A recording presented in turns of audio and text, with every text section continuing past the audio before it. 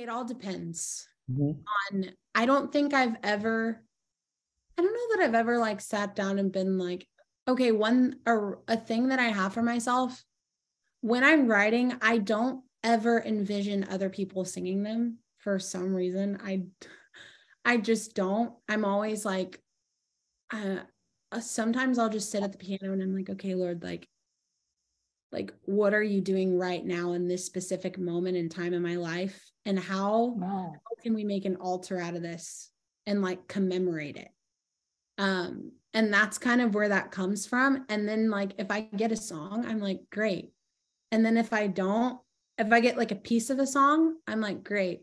I think the only time that i'm ever thinking like man it'd be great to have this is like sometimes like with bethel music from publishing they'll be like hey guys like for this next project like we don't have any like high praise songs. Or we don't have like this. So like me and like another writer or two might be like hey let's write a high praise song. And i feel like that's the one time that it's like very directed. And i'm like Mhm. okay let's like do this. But i don't know me personally by myself sometimes i do have that desire where i'm like man i kind of want to write something fun you know?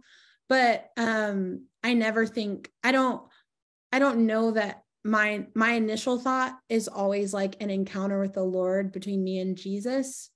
And then i'm like and then sometimes if they're asking for songs i'm like oh i think this actually might work. Um so it's kind of that goes.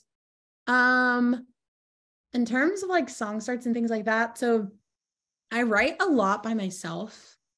Uh only child props uh no but i write a lot by myself and it has been my favorite thing ever um but i feel like i'm after these like past two years i'm i have formulated this group of like five six people that i keep going back to Mhm. because like I really believe like because there are some parts of songs that I feel like the Lord is like, hey, you could take this to anyone and you'd be good. And then there's sometimes where I feel this reverence from the Lord of like, hey, I need you to get with this person like specifically and like they will be the ones to help you like steward this. Um so the ratio of that, I don't know.